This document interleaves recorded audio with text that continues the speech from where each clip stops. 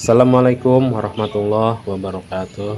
Kembali lagi dengan channelnya Dapa dan Dipa Lintang Katulistiwa Sekarang sama papahnya Dapa dan Dipa Mau mereview beberapa tanaman. Sekarang kemarin kan tanaman bunga-bunga ya Sekarang saya nyoba untuk tanaman sayuran.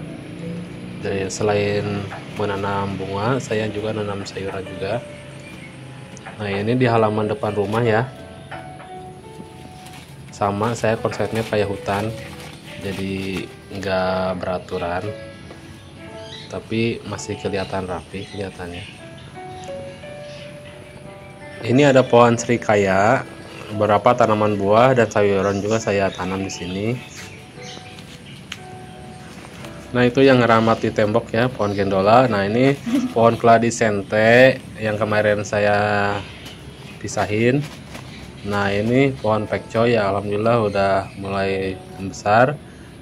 Nah ini ada ubi, ada ubi jalar. Nah ini beberapa bibit. Ini ada pohon anggur yang sudah meramat, yang mudah-mudahan bisa cepat berbuah ya. Nah ini ada pohon keladi sente Insya Allah kalau besarnya itu besar banget jadinya daunnya. Nah ini cabai rawit. Alhamdulillah subur juga. Nah ini keladi sentenya udah saya pisah-pisahin ya dari anakan. Sekarang udah tumbuh besar. Nah itu ada ekor bia ya. Alhamdulillah tumbuh juga. Nggak sengaja saya tanam di situ dan berbunga juga. Nah ini miana ya gampang banget kalau nanam miana sekali tancap langsung jadi. Ini pohon jeruk kasturi ya. Ya alhamdulillah udah pernah berbuah juga dan sekarang udah mulai ada bunganya tuh. Ya kelihatan kan? Nah itu bunganya ya. Mudah-mudahan cepat berbuah juga.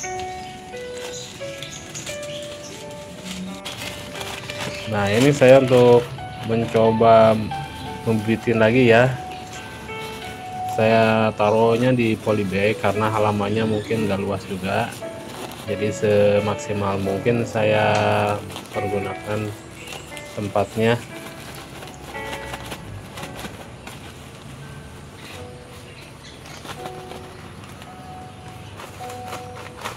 Nah jangan lupa ya dipadatin supaya tanahnya itu padat jadi tanamannya itu nantinya subur.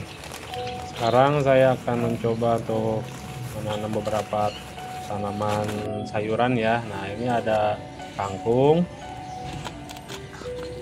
Kita buka dulu ya. Walaupun di lahan sempit kita masih bisa menanam ya. Bismillah mudah-mudahan pada jadi ya. Nah ini ada cabai rawit juga cabai keriting saya coba disemai dulu ya.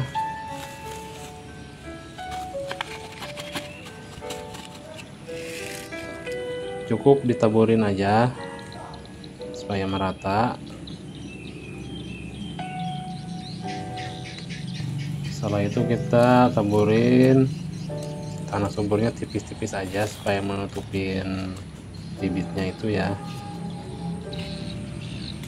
nah ini ada sawi atau bisa dibilang cesin ya. Nah ini. Kalau ini banyak isinya jadi kita taburin secukupnya aja di polybag. Sama ditutupin lagi sama tanah nantinya ya. Nah ini yang udah jadi yang udah saya bibitin mudah-mudahan tumbuh dan subur Nah, begitu. Oke, makasih ya teman-teman. Mudah-mudahan channel saya bermanfaat. Terima kasih. Wassalamualaikum.